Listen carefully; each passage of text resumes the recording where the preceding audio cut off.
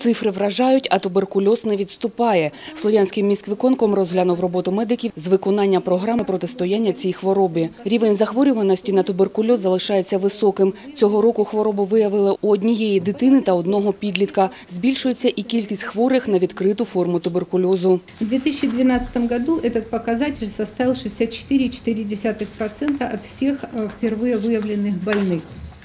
Одной из э, составных частей развития эпидемии является распространение сочетанной э, ВИЧ и туберкулеза патологии. Так, в 2012 году за 9 месяцев среди впервые заболевших э, туберкулезом 32% больных страдали ВИЧ-инфекцией. Тепер до протистояння туберкульозу залучать сімейні амбулаторії. Тут хворий може доліковуватися за місцем проживання.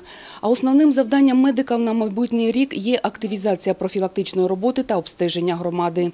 И м, сегодня мы должны сделать максимально все для того, чтобы э, почти все жители, все жители города Славянска, э, без слова почти, э, м, смогли э, пройти флюорографию, и мы могли предупредить э, м, э, это заболевание.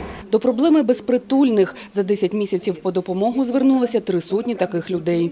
З початку 2012 року до установи за допомогою звернулося біля 300 осіб. Із них 26 осіб звільнені з місць позбавлення волі.